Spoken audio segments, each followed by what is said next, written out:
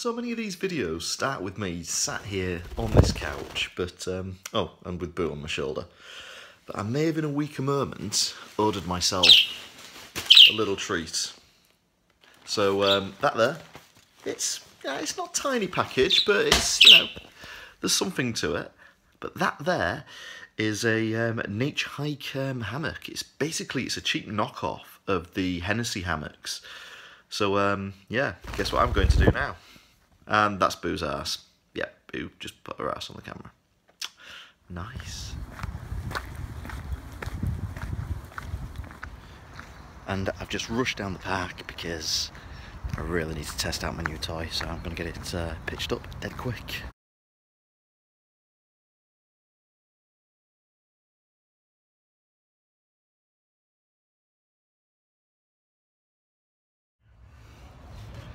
And so there it is then, the first pitch in what I would call fairly tolerable conditions. There's a slight breeze, nothing crazy. Um, I'm impressed with this bug net. Look at this. You've got a ridge pole that goes all the way over. So it holds the bug net off your face.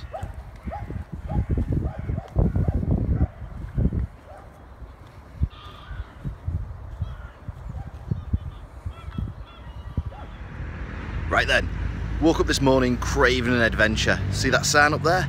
That's the sign for the Trans-Pennine Trail. The old train platform here that's completely overgrown, which is kind of sick. Nice. Been a nice easy walk so far. It's like pretty much been bolt straight, because like I say, it's an old train line, so really flat, really straight. I couldn't have asked for it to be any easier actually.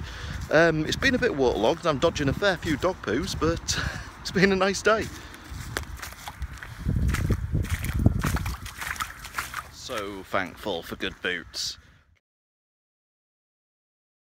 So I've brewed myself up a coffee on the trusty old jet Jetboil and um, I'm just going to sit here, chill, get very British with it and have a biscuit because, hey, it's the way you got to do it. And this is the home stretch now, the last little bit of the Pennine Trail. Six hours later, it's been a long walk, but by the sea,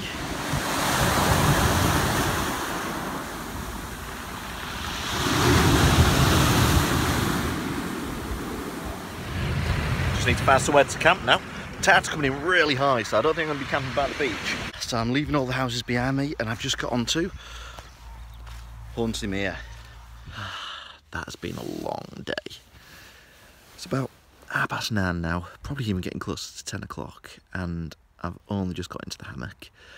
Um, couldn't find anywhere decent to um, sling down in Hornsea. It's like I was going to um, sleep on the beach nah, it's like tide was in too high, um, wasn't worth the risk. Um, was going to camp on um, Hornsea Mere. Nah, not a chance. There was just nowhere that was suitable that was like hidden away and I didn't want to get pitched up and then get moved on so what I did was hit the trail back in reverse and started walking back towards Hull and um, stopped off in one of the little forests now I've got my bivy kit with me and I was quite happy to just sling down on the ground and bivy on the ground but absolutely waterlogged like everywhere. It's like um, it's just a huge bog. And um, that's the real beauty of having a hammock with you. So I got my hammock up, pitched it between two trees, and even though it's like waterlogged and it's a bog underneath me, I'm up, hanging dry, and um, yeah, this is pretty nice. Morning world. Well, that was a really um, comfortable night's sleep. Really enjoyed that. Best thing about this by far is the fact that it just comes as an all-in-one unit. Then you um, clip it to the tree one side, clip to the tree the other side, undo the snake skin, and boom, you've got your bed ready.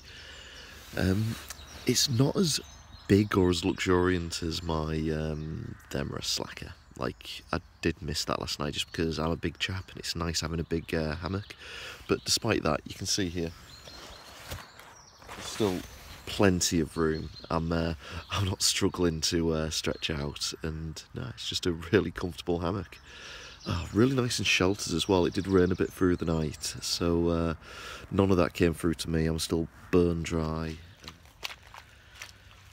There you go. Can you see how wet and um, horrible it is down here? I would not want to be bivvying on the ground. Got to the tap, and it's actually got ice on it this morning. Like. So yeah, it was a pretty horrible night, but it really looked after us. So back on the trail now.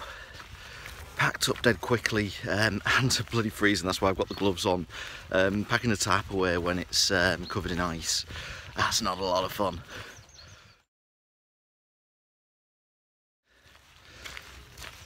About a three hour walk back home through fog and ice and far too many puddles. Thanks for watching guys.